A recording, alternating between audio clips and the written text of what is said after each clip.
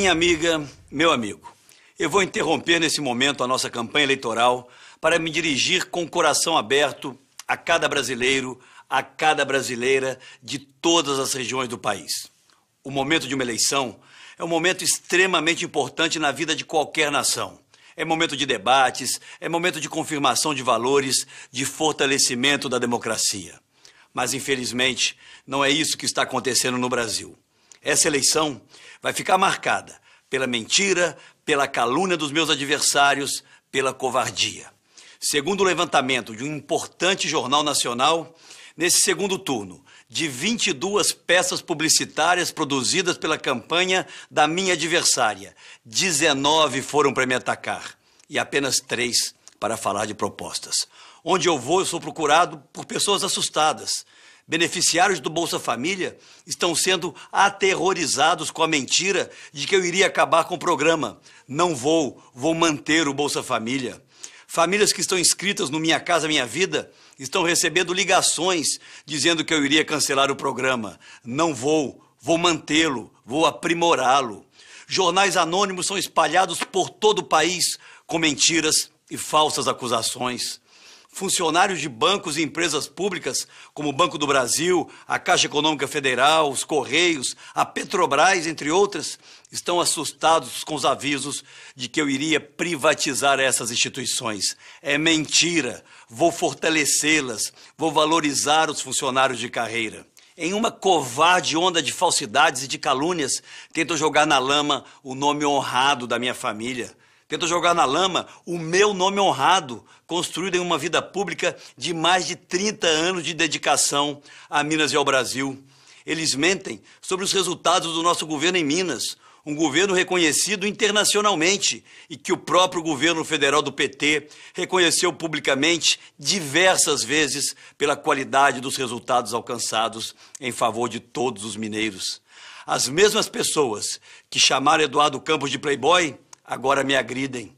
As mesmas pessoas que atacaram Marina Silva de forma cruel se voltam agora contra mim e vão se voltar contra qualquer um que ameace a permanência do PT no poder. Infâmias e gravíssimas mentiras são espalhadas contra mim nas redes sociais por um exército clandestino, anônimo. Fotos e vídeos são montados e adulterados de forma criminosa e, sem nenhuma prova, me acusam de comportamento pessoal criminoso.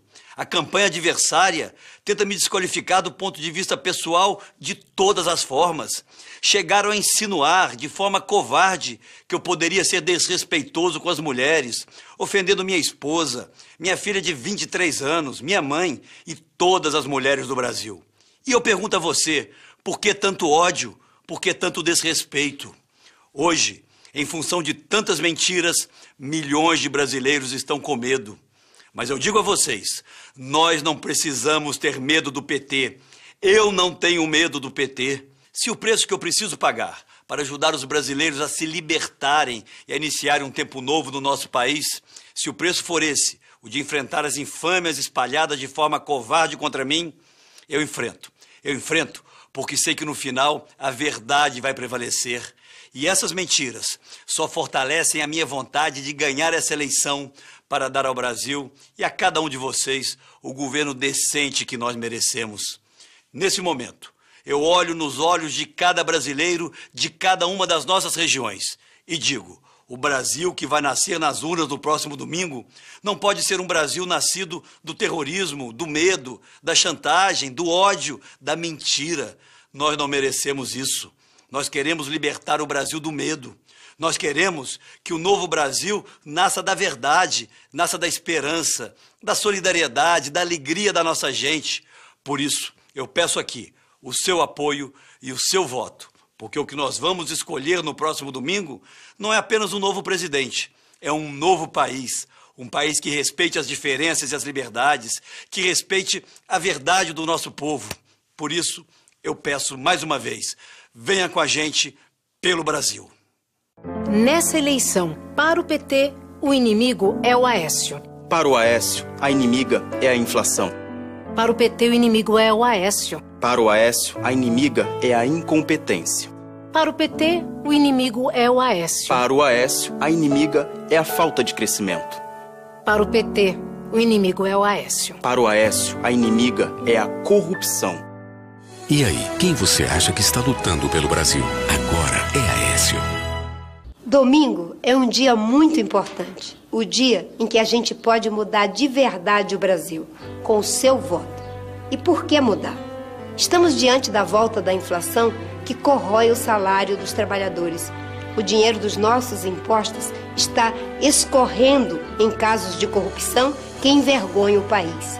Espalha o medo, parte para ataques pessoais, ao invés de debater projetos e soluções, porque sabe que assim evita expor as fraquezas e os erros do seu governo.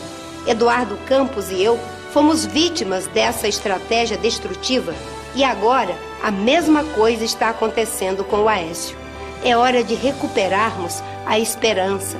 Aécio assumiu publicamente fortes compromissos com o povo brasileiro. Com esses compromissos, Aécio acende uma luz na escuridão dessa campanha eleitoral. O voto é você que decide. Use a sua liberdade de cidadão, não se deixe intimidar por acusações sem fundamento que a campanha da candidata Dilma vem fazendo a Aécio. Eu sei que a partir de 1 de janeiro, Aécio pode começar as mudanças que tanto queremos e o Brasil precisa. Vamos nos unir em direção a um futuro melhor para todos. Peço que você participe do movimento de mudança que o Aécio representa. No domingo é 45 para mudar o Brasil. Faltam quatro dias para você mudar o Brasil. Hoje nós temos duas possibilidades, que é continuar como estamos ou trilhar um caminho de mudança. É fundamental para esse novo momento que o Brasil precisa, alguém que tenha capacidade de diálogo, que saiba juntar e que tenha capacidade de gestão. A S hoje representa não um partido, mas um conjunto de forças que se juntaram nesse segundo turno, procurando dar esse salto e trilhar esse caminho da mudança que o Brasil pediu nas urnas. A gente não quer mudar. Não fomos para a rua ano passado, o Brasil inteiro por mudança? Então, agora é a hora. Aproveita, porque a mudança de verdade, como a gente quer, é a S.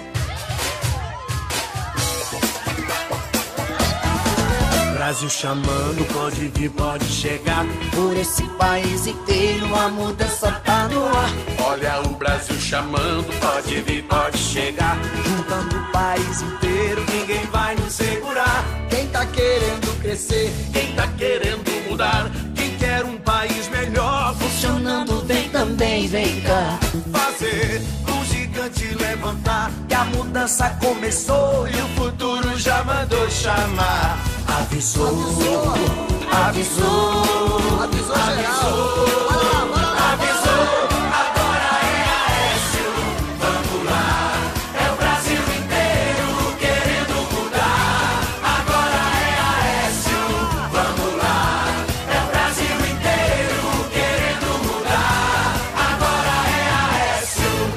Preste atenção no que a presidente Dilma afirmou no debate da Record no domingo passado. A integração do, do São Francisco está em pleno vapor. Obras de transposição do Rio São Francisco em Cabrobó, em Pernambuco, no dia 13 de outubro de 2014. Enquanto a maior obra de infraestrutura hídrica do Brasil, a transposição do Rio São Francisco, se arrasta por sete anos, 12 milhões de sertanejos enfrentam a seca no Nordeste e, com ela, a fome, a miséria e ver o seu gado morrer pela falta de água. Este é um canal de irrigação do Rio São Francisco. Aqui onde eu estou, deveria estar coberto pelas águas vindas do rio. A promessa aqui era para 2013, tá tudo pronto, né? E agora 2013 já passou, 2014 já tá passando, promessa para 2016, mas não acredito que saia não, né? A obra está orçada em 8 bilhões e 200 milhões de reais, quase 4 bilhões de reais a mais do que o previsto em seu início, em 2007. A transposição do São Francisco, a todo momento, enfrenta paralisações, problemas de projeto e obras tendo que ser refeitas, enquanto quilômetros de canais ainda na terra esperam pelo término. Às vezes amanhece o dia e a gente fica imaginando, pensando: será que eu vou estar viva quando esse canal funcionar?